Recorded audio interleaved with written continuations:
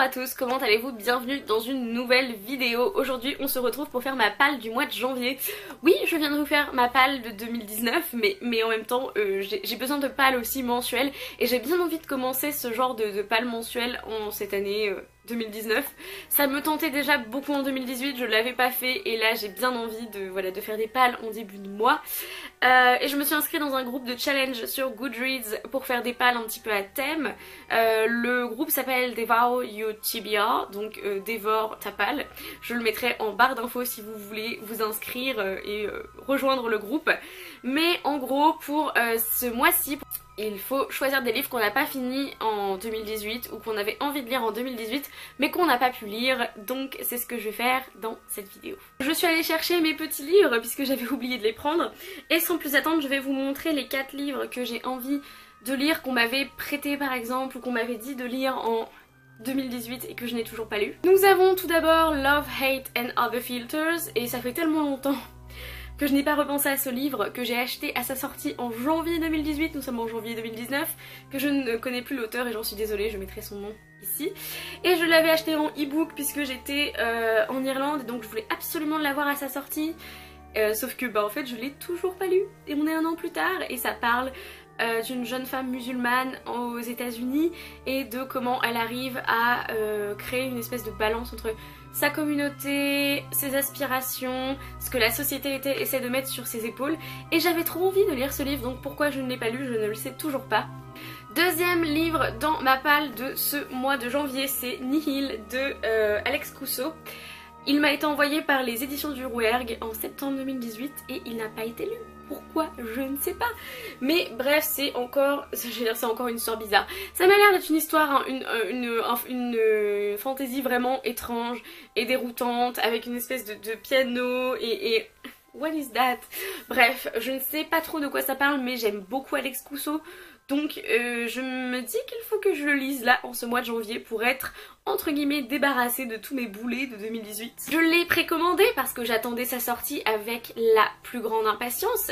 Il s'agit de The Dark Days Deceit de euh, Alison Goodman qui est le tome 3 de Lady Helen. Si vous ne le savez pas, je suis une énorme fan de Lady Helen et je n'ai toujours pas lu ce livre. Oui, je sais, pourquoi Je ne sais pas. Mais je n'ai pas trouvé le temps. Il est arrivé tout début décembre parce qu'il a eu du retard dans la précommande avec Book Depository et j'avais pas le temps de le lire. J'arrivais pas à me trouver du temps pour le lire. Donc j'ai tellement envie de savoir la fin de cette saga. Alors lui, c'est sûr, en janvier, il y passe. Ensuite, euh, Justine de la chaîne Red Blue Moon m'a prêté Illuminae, le tome 1 de Jay Christophe et Amy Kaufman. Et donc je me dis qu'il va falloir que je le lise pour un jour lui rendre, hypothétiquement.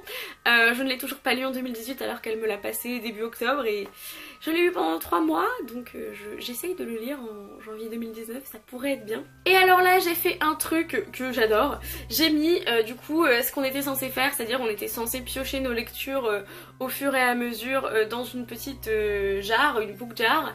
Bon là je l'ai mis dans une tasse du coup.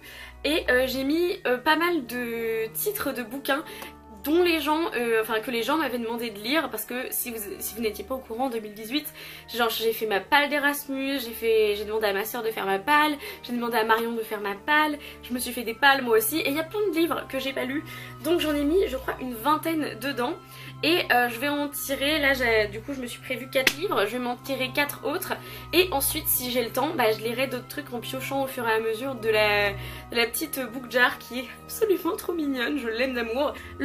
C'est Le meilleur des mondes et il me vient de ma palle que j'avais fait de 2018 euh, des plus vieux livres euh, que j'avais envie de lire. Je crois qui étaient dans ma palle, il y avait Le meilleur des mondes dedans.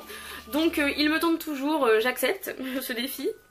Ensuite on a The Hazelwood de Melissa Albert qui est ici qui est donc ici, The Hazelwood et je l'avais mis dans ma palle pour je ne sais plus quel challenge. C'était cet été je crois ou je non je crois que je l'avais mis dans mon Pumpkin Autumn Challenge et donc je ne l'ai pas lu alors que franchement cette couverture est absolument magnifique mais je ne l'ai pas lu et donc il faut que je le lise c'est voilà, bah c'est officiellement prévu pour euh, ce mois de janvier. J'ai Personne ne gagne de Jack Black. Euh, bon là je peux pas aller le chercher, il est tout là-haut. Mais il était dans ma palle d'Erasmus que euh, Sarah m'a gentiment fait. Et je n'ai toujours pas réussi à trouver le temps de le lire. Donc bah je vais l'avoir trouvé là maintenant en ce mois de janvier. Et le dernier, c'est Raison et Sentiment de Jane Austen qui était aussi dans ma palle euh, que Sarah euh, m'a concocté. Donc euh, très bien, un Jane Austen, il y a plusieurs classiques mais il y a aussi du YA et tout, c'est assez varié donc je suis plutôt contente. Et 8 ça me paraît assez possible, plausible, ça fait deux par semaine. Jusque là ça devrait correspondre à mon rythme de lecture euh, et voilà donc si j'en ai d'autres à lire et eh ben je ferai un petit tirage sur Instagram et je piocherai. Il reste encore pas mal euh, de livres euh, à lire de 2018 et peut-être que j'étendrai ce challenge à tout 2019, je ne sais pas. On verra bien parce qu'il y aura d'autres challenges qui vont sûrement me faire envie pour les mois prochains. Voilà, c'est tout pour cette vidéo. Merci de l'avoir regardée. Dites-moi dans les commentaires si euh, c'est euh, pas le début de mois vous intéresse, si ça vous motive vous aussi. Moi, ça me motive à fond. Si vous avez lu certains des livres que euh, j'ai présentés dans cette palle, n'hésitez pas. Et dites-moi aussi ce que vous lisez en ce mois de janvier 2019. En attendant une prochaine vidéo, lisez bien, amusez-vous avec vos lectures et bisous